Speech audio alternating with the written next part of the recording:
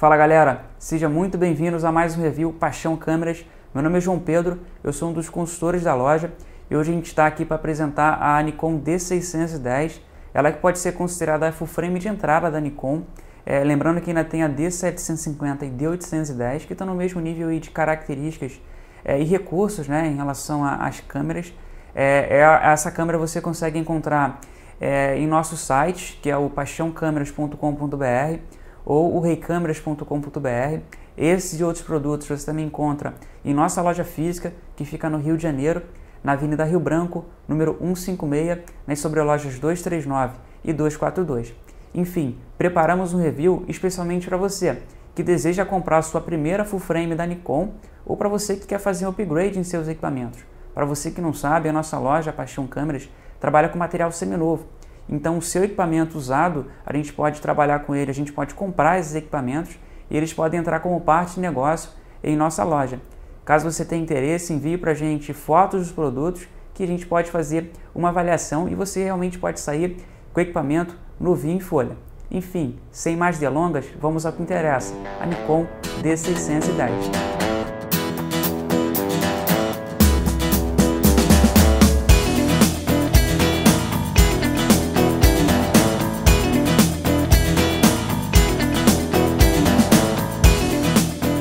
Ela vem com 24 megapixels, 39 pontos de foco, disparo contínuo de até 5 quadros, é, vídeos em Full HD com 30 quadros por segundo. Ela que trabalha com dois slots para cartões de memória, além de ter entradas aí microfone e saída headphone para você monitorar melhor o, o áudio. E além de ter modos de fotos específicas, como fotos de HDR e múltipla exposição. Essa é a Nikon D610. Uma das coisas mais interessantes nesse projeto de câmera da D610 é a disposição dos botões. A gente vai acompanhar e ver como é prático é, mexer nesses botões aí, a disposição dos botões, como é legal.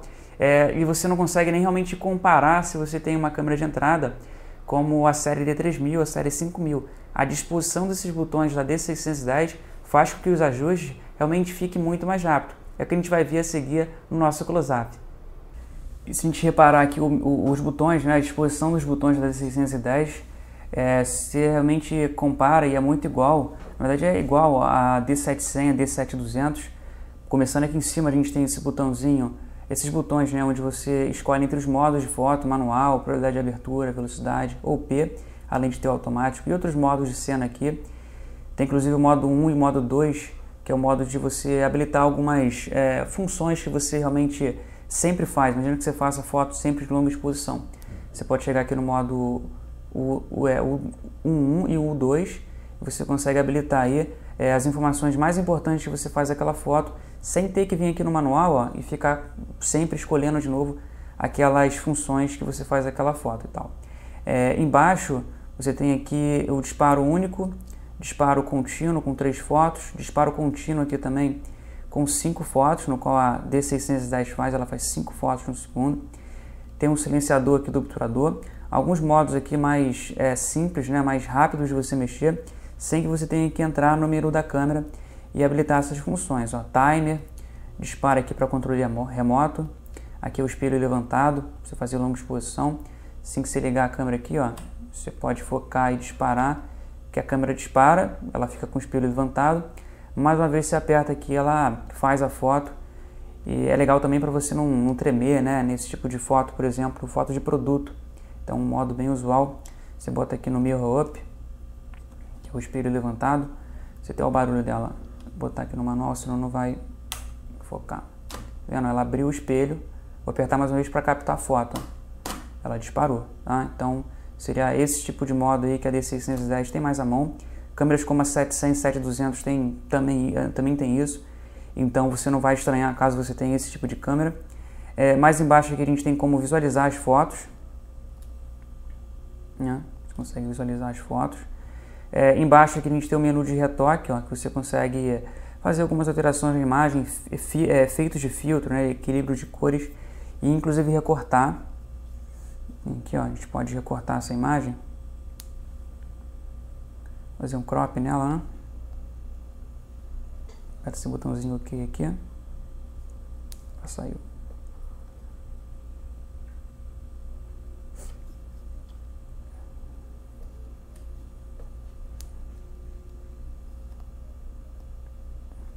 Você consegue recortar a imagem, né? Muito mais fácil. É, tem um White Balance aqui. Vou habilitar para você ver aqui, ó. Tem um balanço de brancos que você consegue alternar nesse módulozinho aqui, ó. Então muda o balanço de branco da sua foto, tá? Aqui é automático. É, o ISO que você controla também.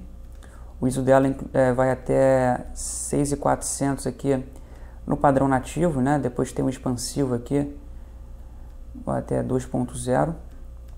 ISOs legais aí para você fazer fotos de longa exposição e tal. É, em, em testes, né, a gente já viu que ISO 3200 a 610 segura muito bem. Passando do ISO aqui é, 6400 é legal você habilitar a função dela de redução de ruído que ela tem aqui no menu. Como você habilitar redução de ruído em ISOs altos, né? Que está no padrão alto já. Né? Tem um baixo, tem o um normal. Então a partir de 6.400 é legal que você habilite, até porque as imagens realmente começam a dar aquelas granuladas e tal. Bom, passando aqui a gente tem é, o botãozinho aqui de trava de pontos de foco, né? O Lzinho de lock aqui. Assim que a gente travar ele aqui, ó, você não consegue mexer nos pontos de foco. Vou te travar aqui. Eu já consigo trabalhar aí com os 39 pontos de foco no qual essa câmera tem, então eu consigo botar o foco onde eu quero ou travá-lo aqui. Tá?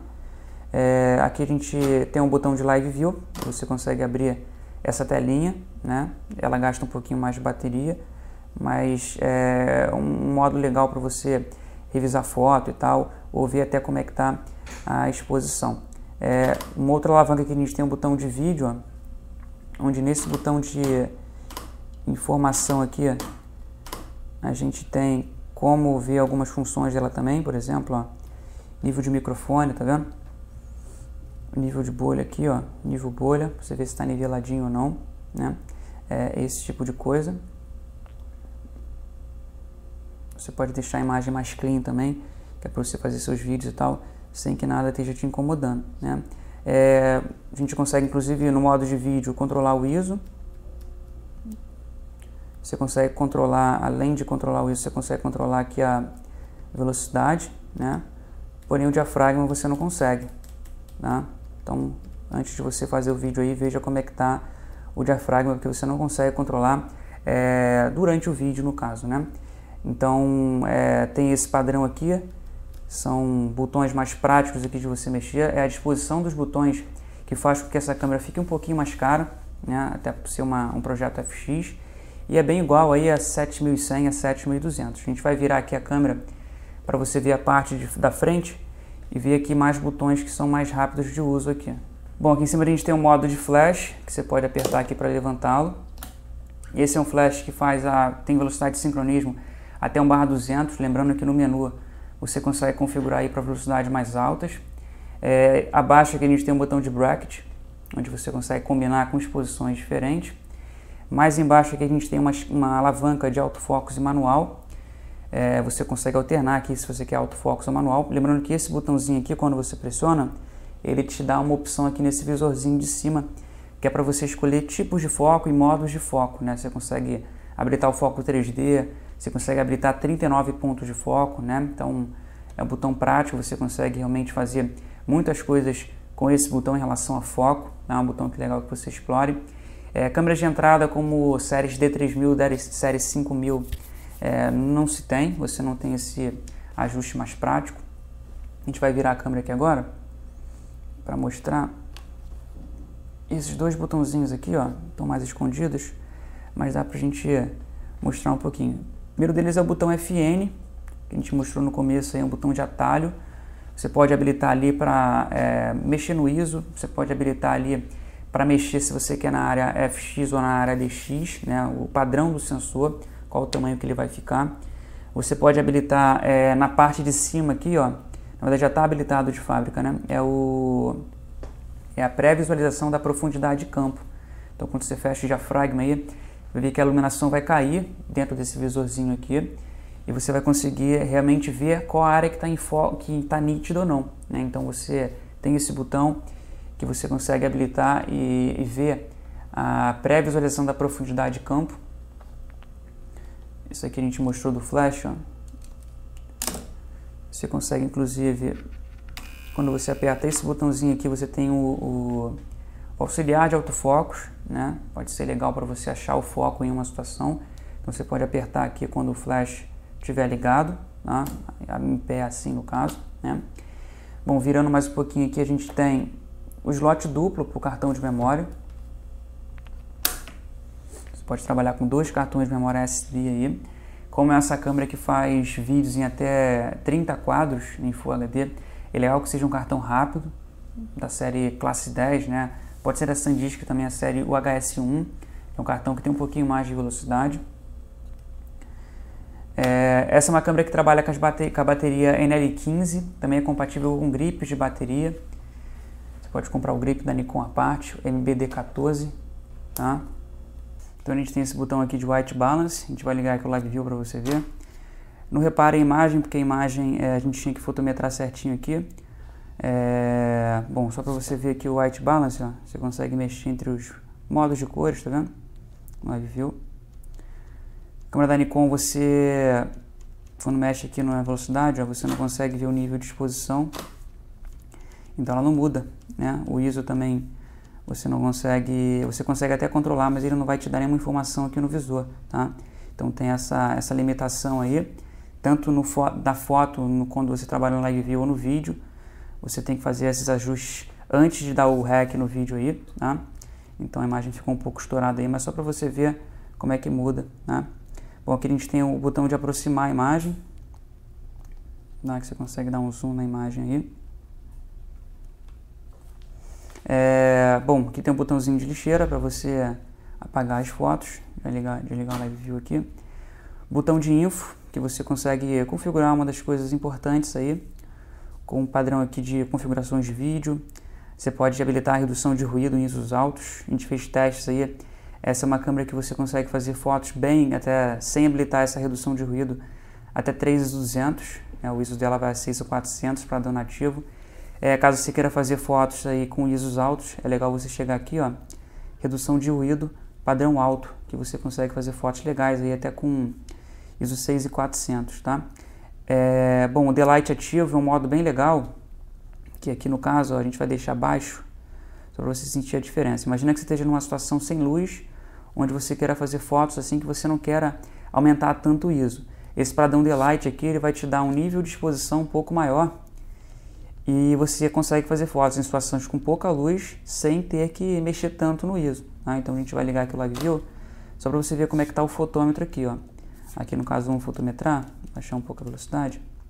Deu 4 com 5.6, meu ISO aqui está tá 125 ISO.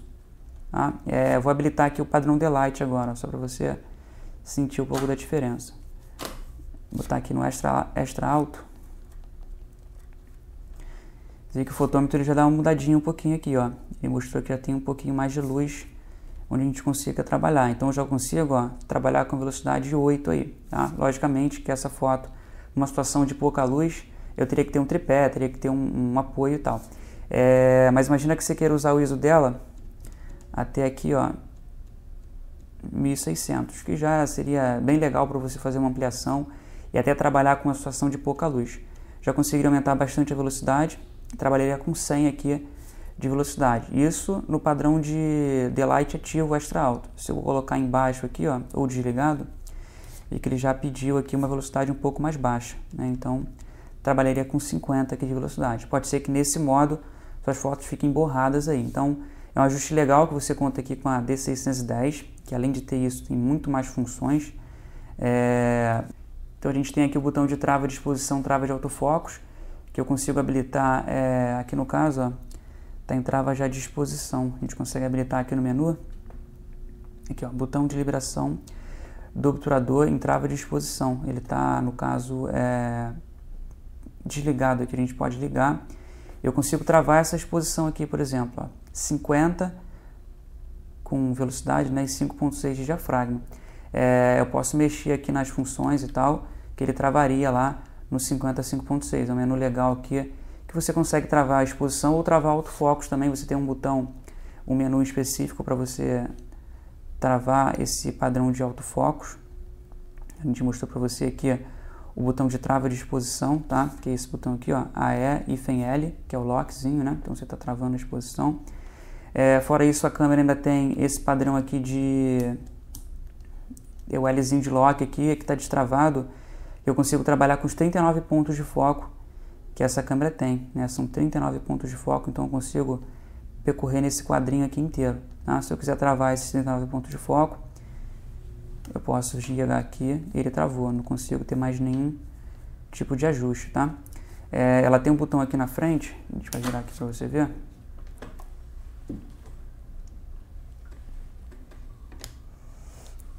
Que é, no caso, esse botão aqui, ó, que é o AF e M, né? Ou seja, AF de autofocus e manual focus.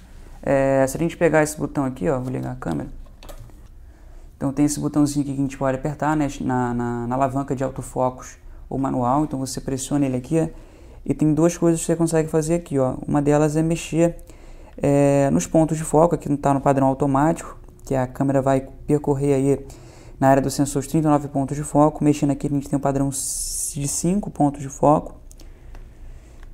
É, padrão de 9, na verdade 5 não, aqui o padrão S de single, que seria um ponto de foco único, onde você conseguiria habilitar o foco onde você quer aí em cada, cada quadradinho. Passando aqui a gente tem 9 pontos de foco, que você consegue diminuir a quantidade de pontos de foco, 21, chegando aos 39 aí, tá? Então, é, além de ter o modo aqui, ó, 3D, que é muito legal para fazer fotos aí de objetos que estejam se movendo muito rápido, fotos de criança é bem legal. É, é um modo que você consegue ter um acompanhamento de foco bem mais eficiente aí. Isso aí é prático e muito comum de você encontrar em câmeras da Nikon desse tipo de, de, de naipe aqui, né? Com uma câmera full frame e tal. D700 D7200 também tem esses modos de foco, que se torna bem legal para fotos em movimento. É, passando aqui a gente tem os tipos de foco que a gente consegue fazer, ó, embaixo aqui. A FA, que é o quadro inteiro em foco. O AFC, que seria o foco single.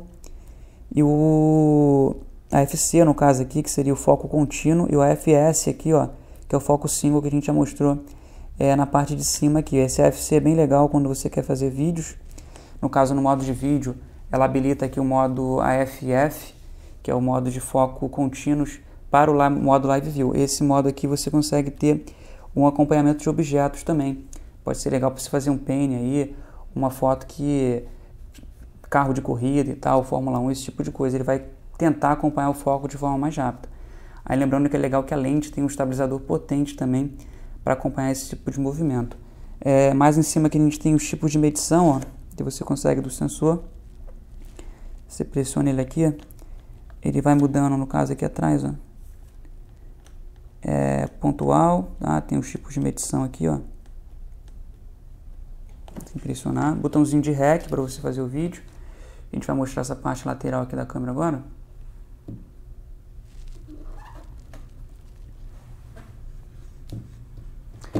Ela tem esse botãozinho aqui, o flash levanta, você pode acionar o flash. Do lado aqui ela tem um botão que você consegue acender o auxiliar de, auto, de autofocus, no caso do flash a gente vai mostrar qual é esse botão. Botão de bracket, onde você consegue combinar com exposições diferentes aí. Deixa eu ela aqui.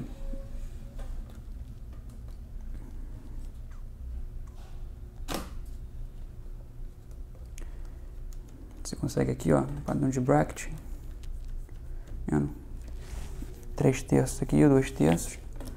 São modos legais aqui que você consegue. Isso tudo você consegue também num recurso de, de programa e tal, mas são modos que você consegue mais à mão aqui. É o botão que a gente mostrou aqui de auxiliar de autofocus, quando você levanta o flash. Então tem esse botãozinho aqui que a gente mostrou que você consegue habilitar o auxiliar de autofocus, no caso do flash. Legal para você achar mais o foco aí em situação com pouca luz. É, no modo Live View ele não funciona a câmera tem que realmente estar sem o live view aceso. Né?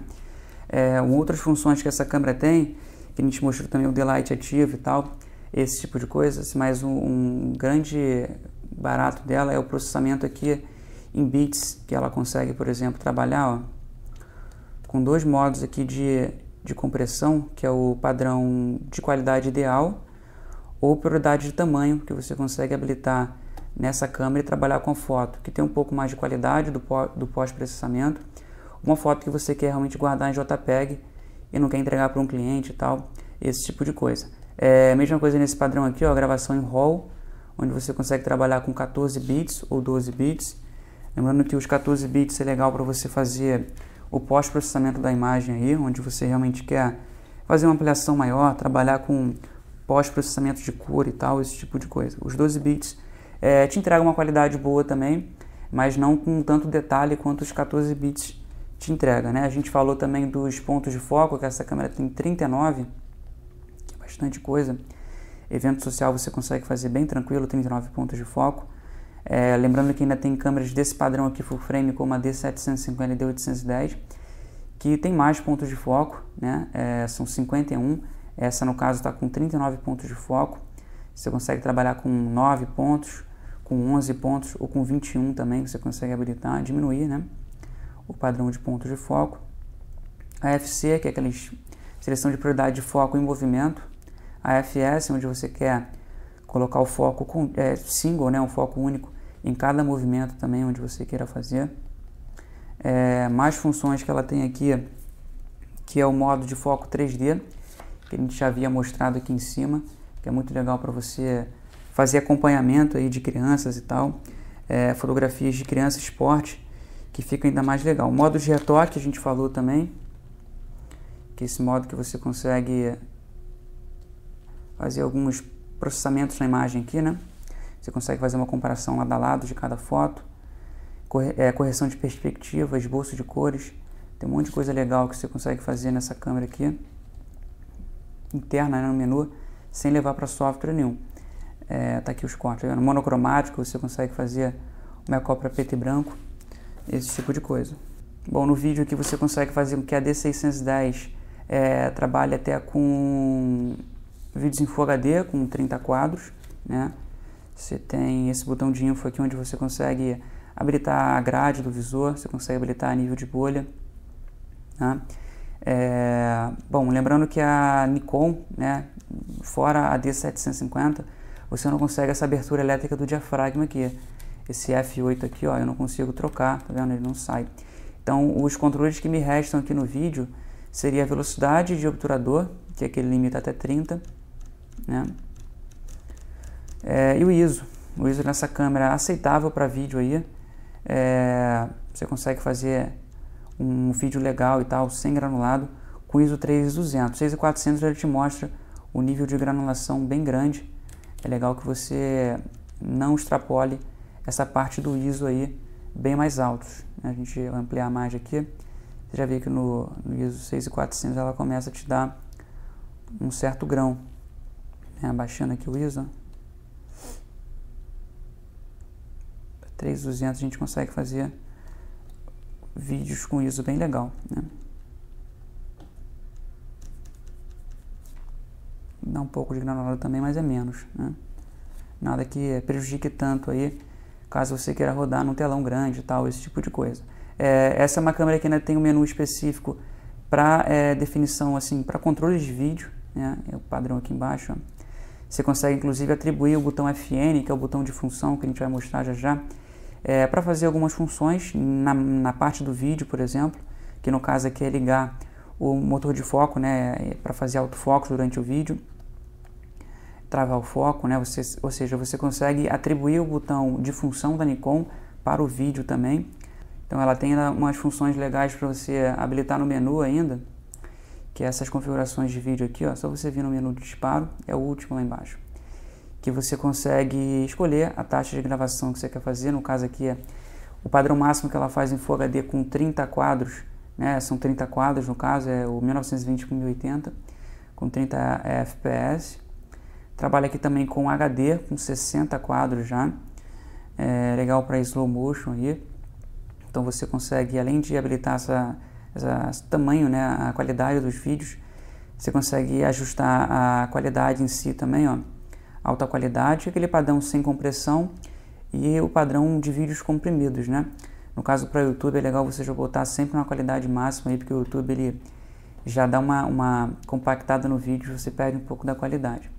Bom, o microfone você consegue habilitar também, no caso aqui sensibilidade manual, ou você consegue ligar direto nela o microfone estéreo, né? ela tem entrada microfone, inclusive tem saída também headphone.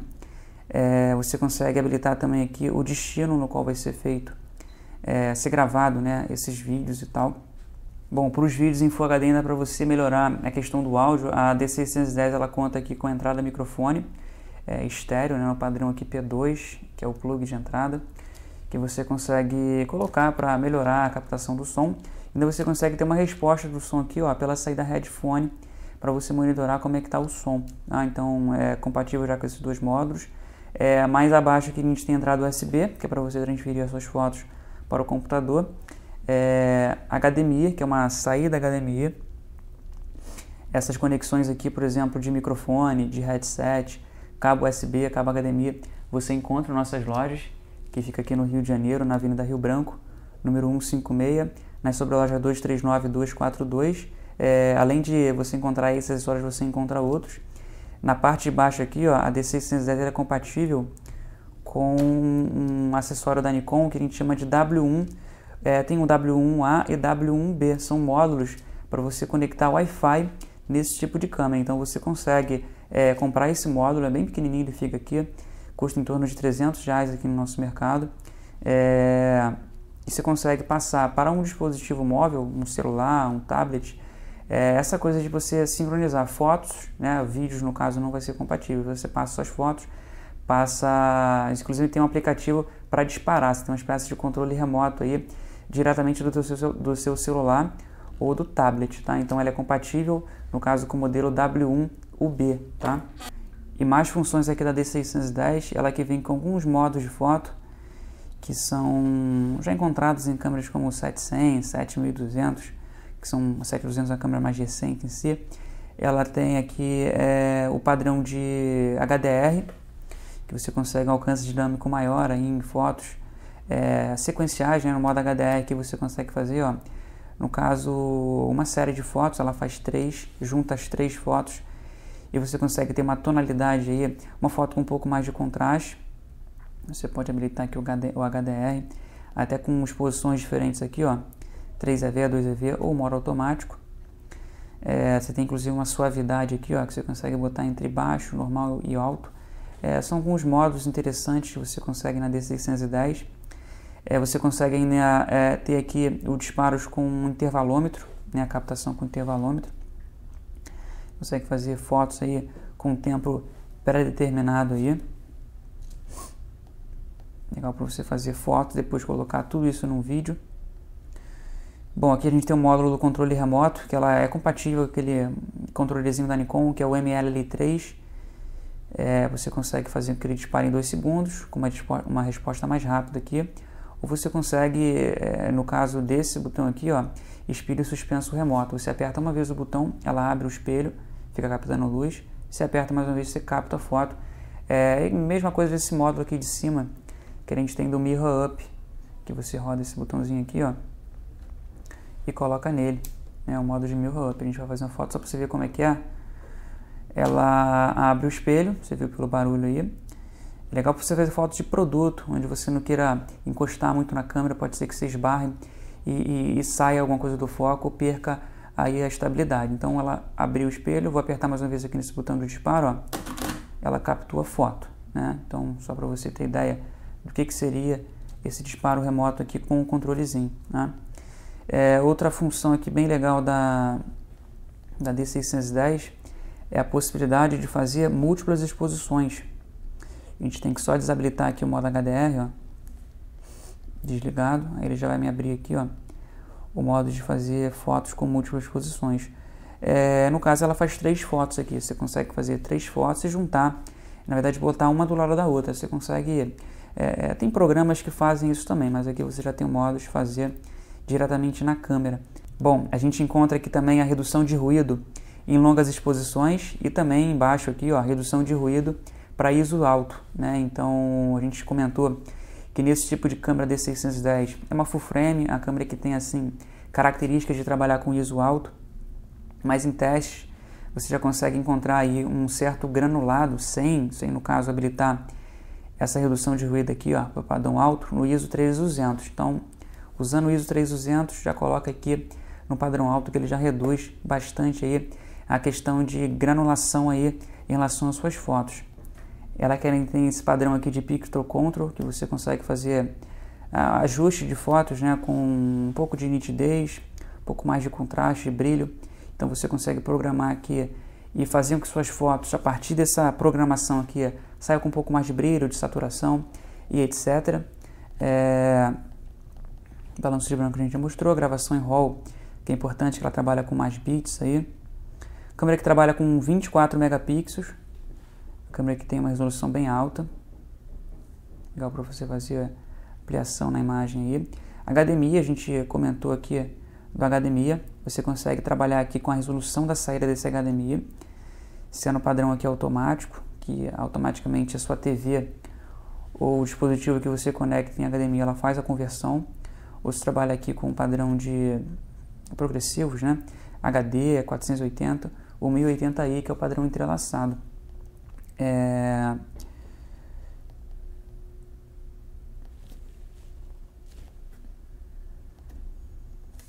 Ela é compatível também com GPS, você pode habilitar aqui um GPS. Essa câmera naquela mesma entrada do, do módulo de Wi-Fi da Nikon. Ela tem inclusive aqui um ajuste fino de autofocos que você consegue habilitar aqui, ó. Para trabalhar com foco aí onde você realmente queira, tá vendo? Até porque tem câmeras da Nikon, série 7000, que é uma série mais antiga, que tinha um problema bem grande aí em relação a ter, é, conseguir o foco em situações extremas. Então, que você consegue habilitar aonde você quer o seu foco. Ela também é compatível com esse padrão, você consegue fazer. Bom, galera, essa é a 610, é uma câmera é, inicial aí full frame, né? Uma das primeiras é, full frames de entrada aí da Nikon, é, até porque a Nikon tinha um projeto de full frame bem mais cara, então a 610 veio para ser uma câmera de entrada para você que quer aí é, comprar a sua primeira full frame. E você viu aí que as características, a disposição desses botões aí faz com que ela seja realmente bem mais prática de você mexer. Caso você já tenha aí uma câmera com uma série 5000, série D3000, você vê que pela essa disposição dos botões faz com que a câmera realmente seja bem mais apta para o uso, bem mais apta para trabalho. E esse é o menu interno da D610 e a disposição dos botões, tá?